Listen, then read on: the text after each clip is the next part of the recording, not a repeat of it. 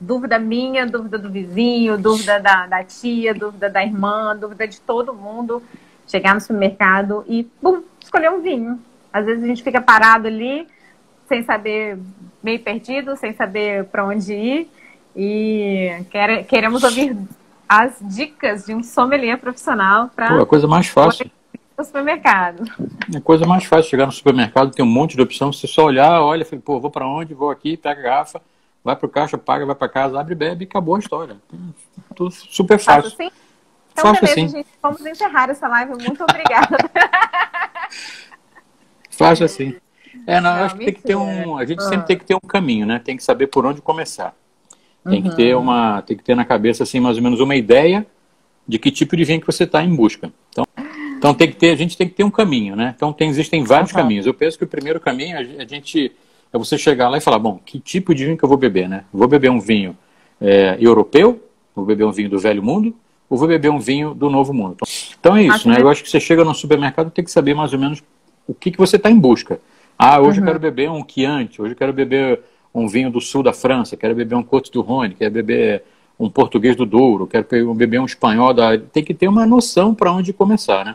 Se chegar lá sem saber para que, que lado vai, realmente vai ficar difícil. Então, se você pensa aí, talvez, ah, vamos lá, eu quero beber um vinho português hoje. Então, já é um caminho, né? Você já escolheu uhum. o país que você vai, já escolheu o continente, já escolheu o, porto, o país que você quer. Então, você vai lá para a área do, do, do país que você já escolheu e vai começar a olhar o que, que tem de bacana lá. Então você vai, conhecer, vai começar a reconhecer, e aí já penso já seria uma segunda dica, vai começar a reconhecer as regiões. Então é fundamental você ler o rótulo. Sabe? Pegar a garrafa, uhum. dar uma olhada, dar uma olhada no rótulo principal, que é o rótulo da frente, aquele rótulo mais bonito e tal. Caso não tenha todas as informações ali, provavelmente você tem que virar a garrafa, girar a garrafa, ela vai estar tá as informações todas vão estar ali atrás do, atrás do, no, no contrarótulo. É obrigatório ter, sabe? Obrigatório ter a região, o país, a safra, o tipo de uva. Certamente vai ter tudo isso. Ainda mais se a gente estiver falando de um vinho europeu, de uma DOC, de uma denominação de origem controlada, ou seja, a maioria dos vinhos que vêm de lá do velho mundo. Né? Então, falando de uhum. Portugal, a gente viu lá escrito no rótulo bem grande o nome da região: Douro, Dão, é, Bairrada, Alentejo, vinho verde. Então você já tem uma noção da onde vem na, uh, no país, se ele vem lá do norte ou se ele vem lá do sul. Então você já tem uma boa noção da onde vem esse vinho.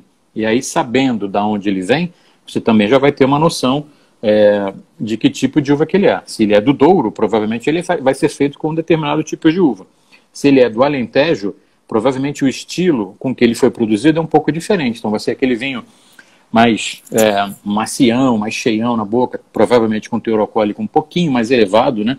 Já que a gente está aí no sul do país e tem uma área um pouco mais quente. Então, na hora que a gente vai comprar o vinho, é, sabendo o que, que a gente vai comprar, é, sabendo, o, o, ou então, pelo menos, pensando naquilo que a gente quer beber, quero beber um vinho de, um vinho de Portugal.